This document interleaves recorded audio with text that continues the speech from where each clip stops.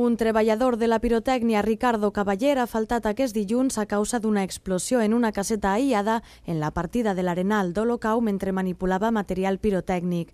L'home de 41 anys que ha faltat treballava en la part cromàtica del material. Així ho ha manifestat el delegat del govern en la comunitat valenciana, Juan Carlos Moragues, després de visitar l'estació de Rodalies de Carcaixent.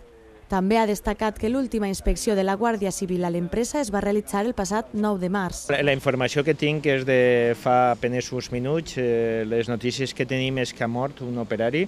Eh, estava manipulant pues, eh, en una caseta de menuda, del voltant de 3 metres per 3 metres.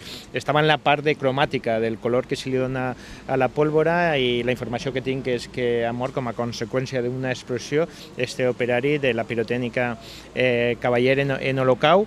Eh, la última inspecció que va fer la Guàrdia Civil, la intervenció d'armes i explosius, va ser el 9 de març, és a dir, estem parlant d'una pirotècnica de Ricardo Cavaller que té contínues comprovacions, inspeccions i supervisions per part de la Guàrdia Civil i no sabem exactament el motiu de l'explosió que ha provocat la, la mort d'aquest operari. S'iniciarà una investigació i trasladar totes les condolències i solidaritat i el pèsame als familiars i als amics i a tota l'empresa eh, Cavaller i en aquest sentit pues, és una notícia desgraciada que ara tindrem que investigar exactament els motius i les causes.